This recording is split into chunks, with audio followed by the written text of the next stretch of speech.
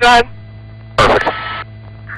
Vehicle stopped at the stop sign shore in the uh, Bravo 6 How you doing it for again? Silver Nissan Altima. Uh, cruiser making contact. We do have felony PC on the driver. Turn Why around. are you arresting me, dude? Turn around.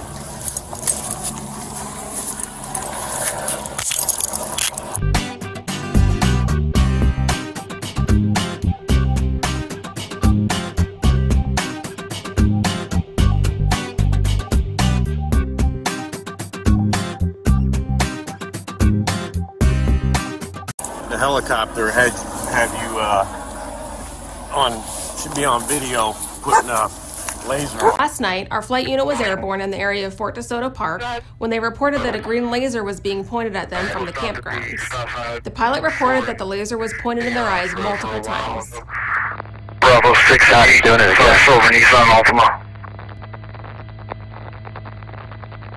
Alright, so back up clothing description so we can tell the two apart. Visual was maintained on the suspect, who was eventually observed getting into a Ford camper van. Flight deputies coordinated with patrol deputies on the ground, and the suspect, later identified as Michael Scott, was taken into custody. Turn around. Turn around. A search of the van revealed a flashlight style green laser pointer with Michael's name on it. The pilot experienced minor pain and decided to conduct a precautionary